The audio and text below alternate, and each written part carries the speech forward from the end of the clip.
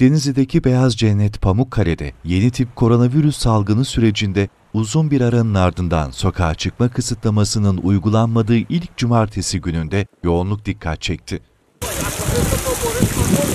Covid-19 tedbirleri doğrultusunda 1 Haziran'da uygulamaya konulan kontrollü normalleşme ile cumartesi günleri için sokağa çıkma kısıtlamasının kaldırılmasını fırsat bilenler Pamukkale'ye adeta akın etti.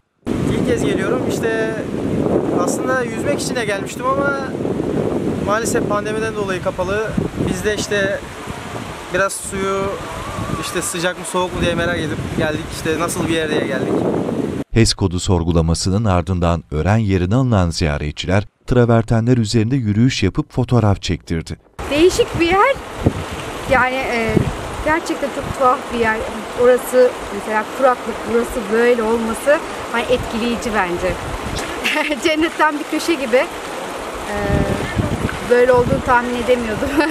Özellikle yerli turistlerin yoğun olduğu gözlenen bölgeye gelenler antik havuza girme imkanı da buldu.